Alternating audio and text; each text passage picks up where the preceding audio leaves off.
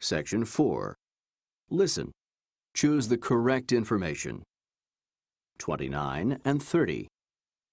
So, how did you and Peter meet? Our friend Matt helped us get together.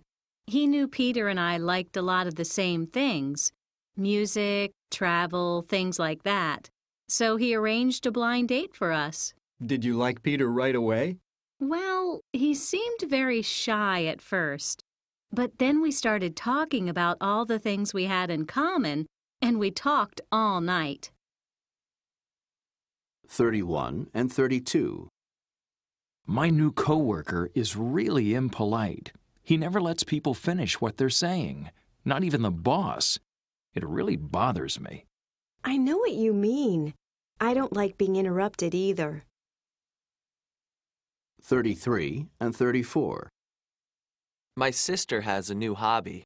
She spends hours chatting online. Well, chatting online is much cheaper than talking on the phone. And I've met some really interesting people on the chat sites. Well, I don't like computers. They're a waste of time. 35 and 36. Things are really crazy at work lately.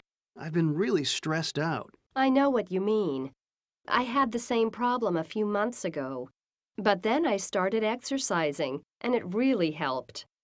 I walk to work every day, and I go to the gym three days a week.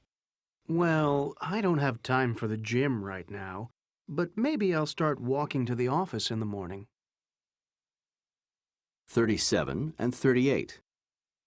Have fun at the game today, honey. Well, I won't have any fun if I don't find my red shirt. Your red shirt? Yeah, it's my lucky shirt. I wear it to every game. That's why my team never loses. I have to find it. Oh, that's crazy. It's only a shirt. Section